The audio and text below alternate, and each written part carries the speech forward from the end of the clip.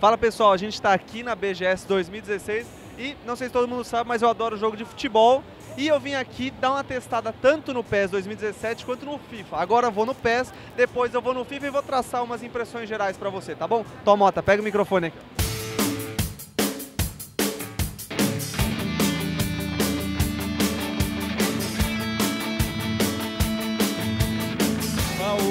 Legal dessa versão 2017 é que ele está muito mais intuitivo, Ah, ou seja, ah, ele te dá um monte de opção, só que você humanamente consegue fazer o que você tem vontade de fazer como se fosse na vida real. Você direciona passe, direciona chute, então acho que essa é a grande modificação do 2016 para o 2017. Você acha que o PES ele tá deixando esse lado meio arcade para ir para um lado mais de simulação mesmo, como para brigar mesmo com o FIFA?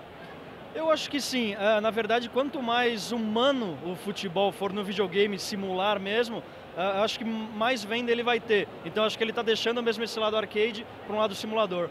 É, eu achei legal, achei que o gráfico melhorou, é, a jogabilidade ficou boa também.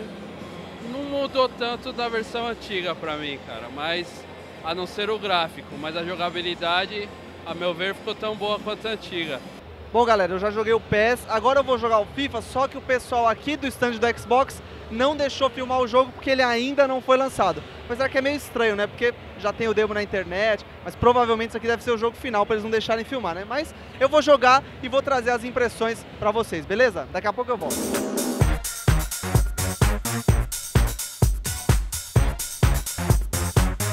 O FIFA 2016 foi um dos FIFAs que eu menos gostei de jogar. Ele tinha alguns probleminhas. Aparente, a princípio, ele evoluiu muito. O jogo está mais cadenciado. Você sente mais o impacto da marcação. E, tipo, ah, trazer os técnicos é uma coisa interessante, mas que não agrega muito, mas é uma firula a mais que é bem importante.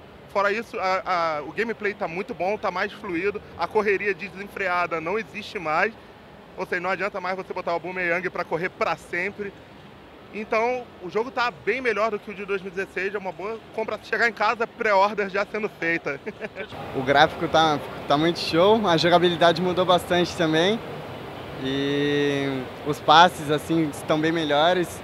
Os movimentos dos personagens também, tipo domínio de bola, chute, defesa de goleiro, essas coisas estão show. Bom, galera, já joguei o FIFA 16, a gente não pode dar uma filmada, a gente vai dar uma muqueada, dar aquela filmada rápida ali no fundo, ali, ó. Uh, tá mostrando nada do jogo na real, é só mesmo um demo, volta pra mim, corta pra mim aqui, ó. O jogo achei bacana, tá realmente a jogabilidade tá melhor do que o 16, tá, tá bem mais fluido. Para um demo eu achei bem melhor do que o do ano passado, por exemplo.